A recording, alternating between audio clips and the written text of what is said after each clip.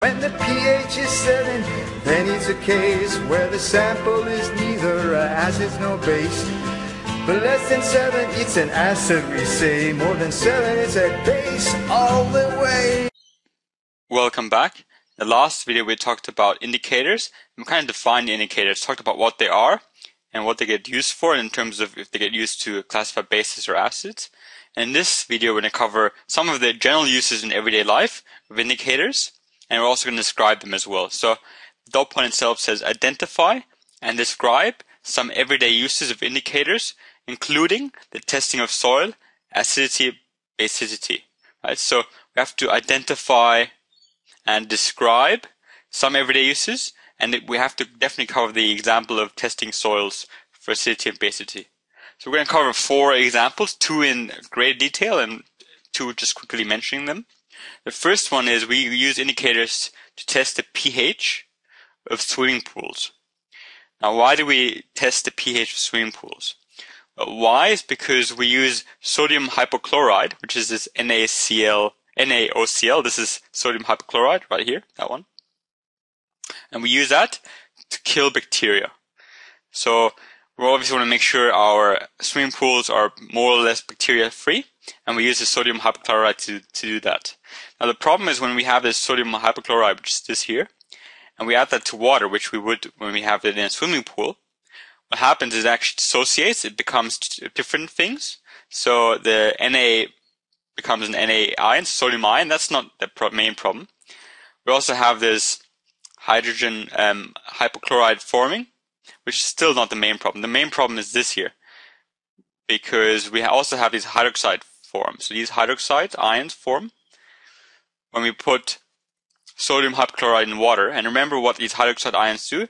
They they increase pH, so they make something more acidic. So they increase pH. So when we're trying to kill these bacteria by putting this sodium hypochlorite into water, that will make it more acidic, more that will increase the pH, so it'll make it more basic.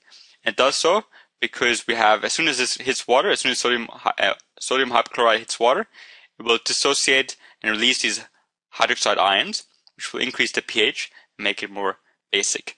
Now the problem is that the basic um, solution in terms of water will actually cause our eyes to irritate, so it'll be not good for our eyes. That's why sometimes you, if you swim in the pool and you had used a lot of this sodium hypochlorite, you get these burns in your eyes, irritation of your eyes. But so how do we solve that problem? How do we make sure that doesn't happen?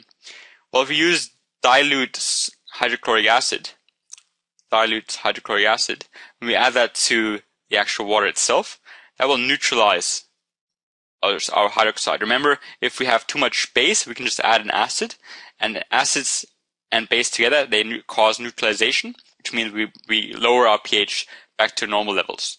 So if we have too much of a base, we can add acid, and thereby it's neutralized. Now, the problem if we have too low pH is it will actually attack the metal of the pool, which means the pool itself will just fall apart after a while. So we want to make sure we don't have too low pH in our actual swimming pool. So if, for example, we add, were, to, were to add way too much hydrochloric acid by mistake to try to neutralize this, we would increase, decrease our pH by too far. And that would have a flip problem by it attacking the pool metal and thereby destroying the pool. If our pH is too high, then the problem is that irritates our eyes and you get really painful eyes. So again, that's one of the reasons why we want to make sure we have a pH around about seven for the swimming pools. Too low or too high is a problem. So we feel okay. We've said okay. Why do we test our pH? We test pH because the pH is increased because we use a sodium hypochlorite to kill bacteria. What do we do to be able to combat it? If we know our pH is too high, we can use that hydrochloric acid to neutralize it. But the problem is how do we figure out if our pH is too high or too low? Well, what we can use is we can use one of these indicators. So we use an indicator. In this case, we use phenol red. Now, phenol red has some different properties. If the pH were to be too low, so for example, if the pH is below 6.8, this would be considered too low, that phenol red turns yellow. So it turns yellow, turns yellow if it's too low. On the flip side, if it's too high, this phenol red will turn red purple. So if it's too high, it will turn red purple. Whereas if it's just right, so if it has a perfect pH, which is in between 6.8 and 8.4, so usually a pH of about 7, the actual phenol red is going to be pink and orange. So if we go, if we have phenol red, these indicators, and we put it into a swimming pool, if it stays pink orangey, that's good. If it turns yellow, that means our pH is too low, and we have to add more base to neutralize it. If it turns red purple, that means it's too basic, and we have to add more acid to neutralize it. But using this phenol red, we can actually figure out if, if there is a problem or not. Now, the second example, everyday example, was the testing of pH of our soil. Now, why do we test? So what's the reason? Why do we test our pH of the soil? The reason is because different plants need different pHs to grow. So different plants need different pHs to grow. So for example, the example I gave is apples. So this the pH of of apples, the soil of the pH for apples, if you want to have optimum growth, should be around about 5.8 to 6.8. And if someone's doing biology, they might remember the enzyme activity.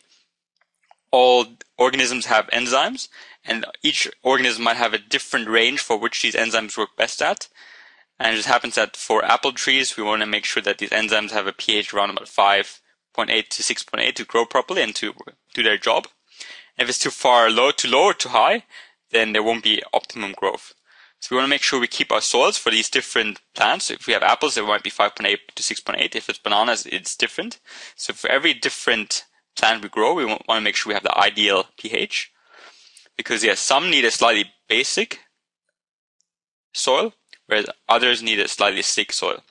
And what we actually do is we grab one of these testing kits. So This is a soil soil testing kit. And they use a range of indicators to make sure that we can have that fine, you know, because it's often between a couple of points, so 5.8, 6.8, that's usually quite narrow soil testing kits. So these soil testing kits have different indicators to make sure we have a very fine balance. Like we can get very fine measurements. And what you do, you have soil, which is here. We could put soil in here. So just collect soil and put it in there. And then observe the actual color change. So if it's too green, that means you know, it's a certain pH of 7 in this case. And if it turns a reddish color, that means it has a pH of 4.8. Different soil testing kits have different kind of pH scales. But yeah, just the idea is you collect your soil. Once you've collected your soil, you check out the the sides of it and see, okay, whatever color turned means it has a pH of this and this. And if it's too basic, you can add more acid to increase the pH, uh, decrease the pH. And if it's too acidic, you can add more base to increase the pH. So once you figure out if there's a problem, you can take that information and think of a solution. But yeah, these testing kits allow you to first figure out what the actual pH is of your soils you're testing. Now the other, these were the two main parts that I've described. The other ones were the testing, so this is a third one, testing pH of industrial sewage. Now the reason why you do this, if you have industry, you can you often use lots of bases and acids to make different products. And the problem is the sewage will go into the water supply.